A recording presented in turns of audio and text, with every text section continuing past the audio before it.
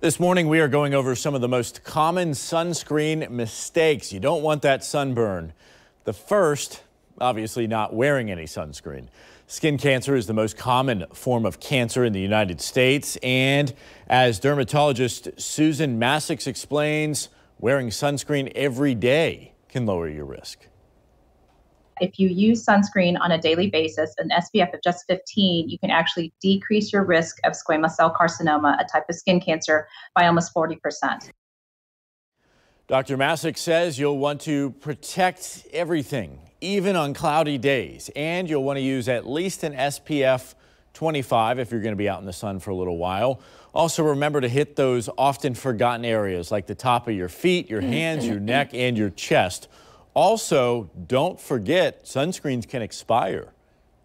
The good rule of thumb is that each spring, just buy a whole new set of sunscreens, have them in your car, have them in your beach bag, have them by the door, so you're always going to be applying them consistently.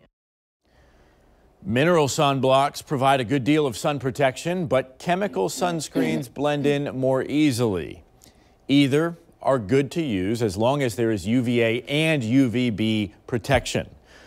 Don't count on sunscreen for sun protection only, though. Hats, protective clothing, and sunglasses also go a long way to lower your risk of exposure and problems in the future.